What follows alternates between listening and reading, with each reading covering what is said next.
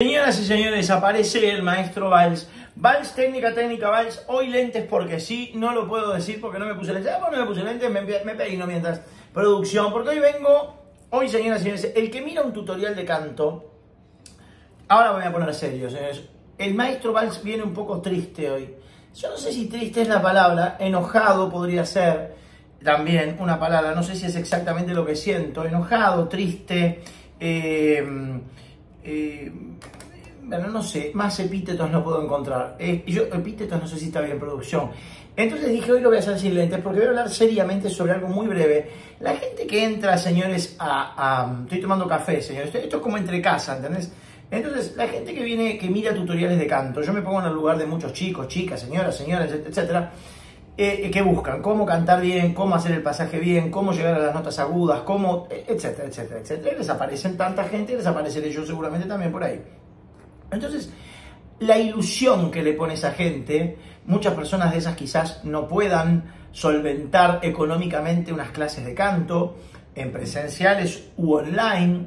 Estoy hablando en serio, señores. Entonces, ese tipo de, ese tipo, no, mucha gente, ese tipo de personas, quise decir yo también, cuando estudiaba, no tenía eh, el dinero para pagar clases, pero había una, una, contra mayor, que, em, que no había internet, no existía internet, Ese tipo de situaciones, quise decir, ese tipo de, de, situaciones, producción, ese tipo de situaciones eh, hace que a mí me dé fastidio, bronca y me ponga, diría también triste, que todas esas personas que buscan porque quieren aprender, porque necesitan aprender, porque probablemente se les está abriendo un camino, porque ven que le ofrecieron a cantar en un grupito, etcétera, etcétera, pueden vislumbrar, pero que de repente no pueden pagarse clases de canto, van y buscan. Ah, pero hay algunas personas que también pueden pagarse clases de canto, pero a veces no quieren eh, pagarlas, eh, hacen mal, claramente, deberían pagarlas con un buen maestro, con un buen profesor también buscan. A veces hay personas que también, todas las que te estoy diciendo, a veces hay gente que sí paga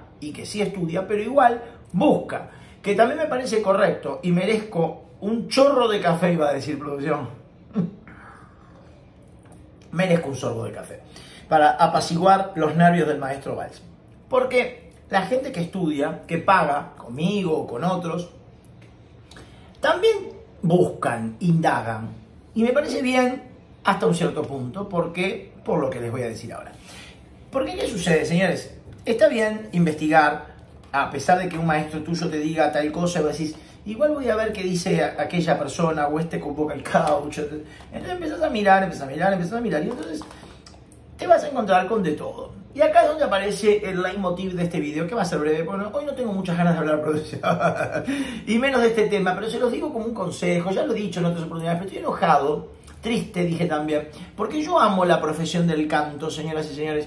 Yo soy cantante profesional, pero no porque me compré una guitarra o porque me compré un micrófono. Yo soy cantante profesional porque estudié toda mi vida canto, señores.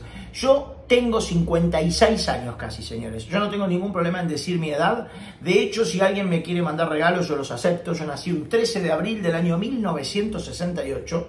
O sea que voy a, cumplir el próximo 13 de abril 56 años. Si yo con 56 años tengo la voz intacta, como ustedes han visto que la tengo, porque la tengo intacta, absolutamente intacta, por eso cuando yo les digo que grabo un video estando frío, es para que justamente ustedes vean probablemente algún, alguna suciedad que se pudo haber cruzado. Soy humano, acá hay flemas, señores, también. Entonces soy humano, o de repente dormí mal, hoy me despertaron los martillos a las 7 de la mañana, se podrán imaginar, estoy cansado. Eh, entonces, Todas estas cosas las hago para que ustedes vean. Si este señor que tiene 56 años, que creo que soy joven producción, ¿soy joven producción?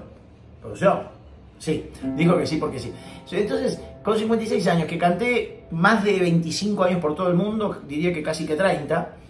Eh, señoras y señores, tengo el instrumento sano porque soy un cantante profesional. ¿Por qué? Porque estudié, porque sí, no. En este caso no es porque sí, es porque estudié, porque tengo talento, porque vine con talento, porque estudié mucho, porque me dediqué mucho a estudiar, porque supe elegir mis maestros y porque eh, cuando un maestro de repente vi que no me dejaba nada, que me pasó una sola vez, me fui con otro maestro, ¿me entendés? No teníamos el internet y todas estas cuestiones que ustedes tienen ahora. La pregunta sería, entonces yo sí soy un cantante profesional y lo puedo decir porque claramente tengo años de estudio en esto y demás. ¿Soy perfecto? No, pero una carrera que me respalda habla por mí. Habla por mí. La página web mía, www.juancarlosvalls.net, todo lo que ustedes puedan leer ahí, bueno, es verdad y habla de que tengo una carrera muy buena, mucho mejor de lo que algún día soñé. Claro, la gente que quiere estudiar canto, quizás mirando este video ya pasó y se fue a otros vocal coach que no te muestran absolutamente nada. Yo te diría que lo escuches este video, ya termino, porque en realidad mi tristeza, mi bronca, muchas veces se podría decir, eh, es ver cómo confunden a todas esas personas, muchas personas que enseñan aquí en, estos tutoriales y en otros, no hablo solamente de esta plataforma, ¿no? Claramente, porque ¿qué pasa, señores? Eh, me da lástima, bronca, pena, tristeza, pena, tristeza y lástima es lo mismo, pero bueno, lo embolsamos todo en una misma palabra, que a las personas que realmente le quieren poner energía, tiempo, dedicación, ya les dije, pagando, no pagando, a veces pagan y miran, ojo lo que miran. Porque si vos estás pagándole a un profesor que te está enseñando bien y vas a buscar y, los conceptos que te da el otro te hacen dudar, tenés dos opciones. O no mires más los conceptos de los demás y confía en tu maestro o tu maestra, o deja a tu maestro y a tu maestra y, y dedícate a bucear de por vida en YouTube. Te aseguro que no vas a aprender nada. Porque estudiar por tutoriales es imposible. Vos podés agarrar tips, podés decir, ah, mira esto, qué interesante esto de la boca, ah, mira qué interesante esto que explicó yo u otro, esto que dijo así, esto que dijo así, etc. Pero no vas a aprender canto. Entonces, mi enojo va para con lo que sigo viendo, me molesta el café producción, me molesta, ¿verdad? Para con lo que sigo viendo. Veo gente que te sigue diciendo, ¿no? Que abras las costillas. Yo grabé un video, que abras las costillas. El otro día un video de una, una señora, además cantante de ópera, mostrando y diciendo que había que abrirse las costillas de la parte de atrás, se agachaba, mostraba. O sea, a ver, no, señores. Determino, termino. Mi enojo, mi estupefacción, que no sé si se dice, mi tristeza vendría en, en este sentido, ¿no? En cómo es posible que hagan del canto una tortura, una tortura Siempre se dijo tortura china, yo no sé por qué, de dónde viene ese dicho, no creo que los chinos sean... En fin, una tortura, señores. China, de Singapur, de Uruguay, del país que vos quieras, pero una tortura no es una tortura el canto. El canto es un, tiene que ser un placer, señores. El canto tiene que ser una felicidad. Cuando vos cantás, tenés que autosatisfacer tus oídos, tu, tu, tu, tu cuerpo, uno podrá decir, ay, bueno, qué gol. No, no es atrás eso, señores. Cuando uno canta y da un lindo sonido, decís, qué lindo ese sonido. Me llevó años aprenderlo, estudiarlo, colocarlo, entender dónde tiene que timbrar, dónde tiene que vibrar, dónde tiene que... Pero qué lindo que está. Entonces, si vos identificás ese sonido y te autocomplace, vas a complacer a los demás. ¿Entendés? Si yo ahora te tiro una nota X, cualquiera, ¿eh? ¡Ah!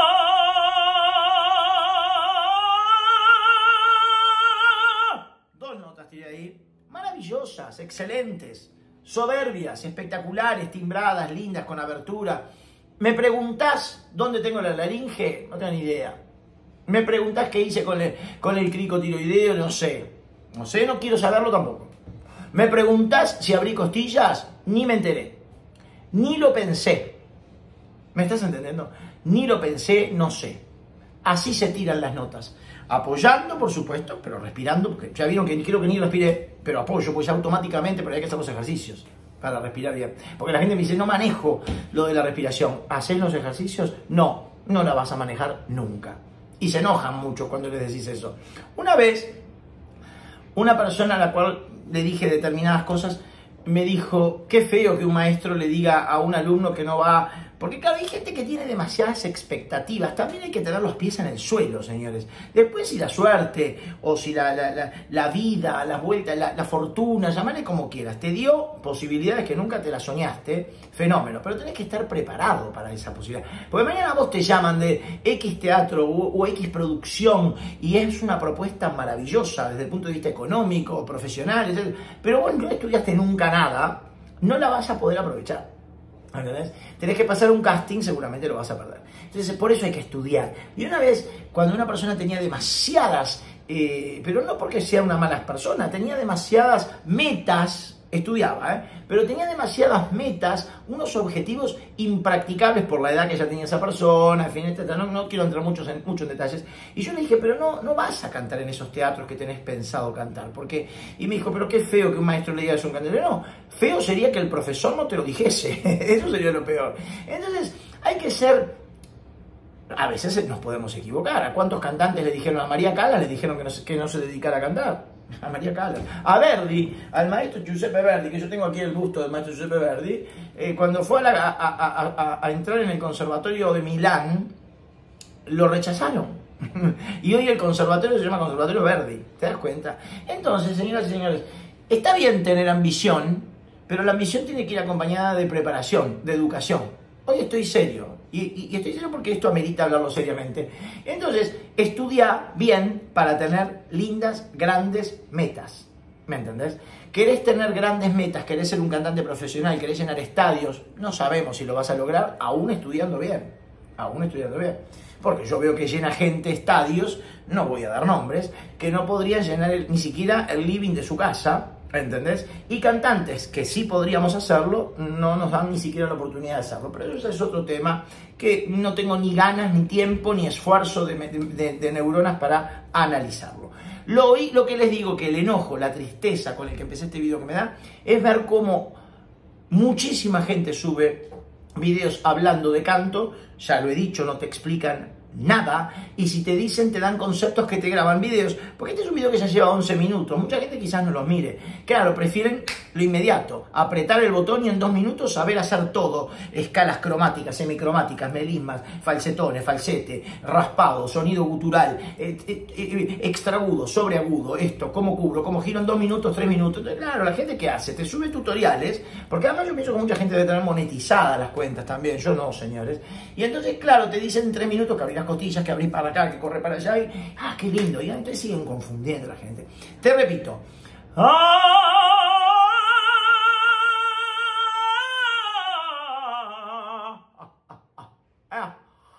Terminé con la lengua chata, está todo el tracto vocal abierto, la laringe seguro que estaría baja, no lo sé, pienso que sí. Las costillas, no sé. Si en este momento no tuviese costillas, estos sonidos también te los hubiese hecho.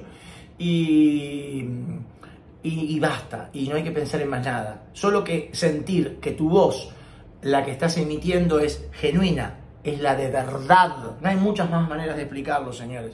Hay cosas que no hay más maneras de explicarlas. Entonces, si yo te explico con metáforas, con imágenes, pero además te muestro y además te...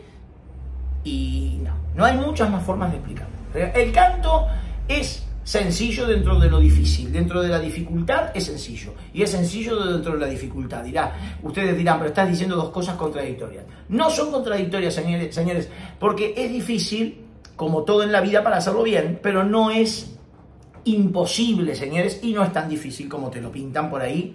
Yo diría que el 80% de las personas que seguramente lo hacen como un negocio, vaya a saber qué. Y termino diciendo entonces, señores, no se dejen marear apabullar, no, eh, no, no, se dejen, eh, eh, porque yo he conocido mucha gente que iba a muchos profesores de canto, vas a agarrar, ah, mira, aquel me dijo que usa el tuan, ah, y aquel me dijo que no, voy a mezclar un poco de los dos, aquel me dijo que usa aquello, mira, acá vi que el falsetone, acá encontré que la voz aguda, acá encontré que, mira, acá dice que la voz de pecho y la voz de cabeza, y, acá el, otro me dijo que la voz de cabeza es mixta, y el otro me dijo que el belting, y que el tung, el ting, el tuntung, el el riff, el riff and rung, el el enojo me, superó producción hoy, pero creo que es un video que, como va de corazón, el corazón va a un desastre, no me da mano, de un café, me hace un corazón así. Como va de corazón, yo espero que se tomen el tiempo de escucharlo y de reflexionar todos ustedes que quieren y aparecieron los martillos para ¿qué quiere decir producción que tenemos que cerrar? Bien, que se tomen el tiempo de escucharlo y que con ese tiempo de escucharlo digan, este tipo me está diciendo cosas para mí bien. Entonces no podés pagarte clases de canto, no importa, buscate tutoriales que por lo menos te den algunas, algunos elementos buenos. Y no busques 25 tutoriales, porque todos te van a decir cosas distintas y no vas a saber ni para dónde ir. Y podés pagarte clase de canto, pagá, elegiste un buen maestro. Pero después no andes buscando por todos lados más cosas. Ya te vas a dar un lío de novela, como decimos por acá. No podés pagarte clase de canto este, y querés bucear, bucea. Pero elegí. Pagás clase de canto, querés bucear, bucea bien también. Porque si capaz que quiero ver qué dice, está bien, pero sepan elegir, saban iba a decir, elegir. Enojado, triste, confundido, pero siempre mostrándote y es un bien a la comunidad de cantantes. Vals técnica, técnica, lentes, ¿por qué no? Café porque sí. Chao.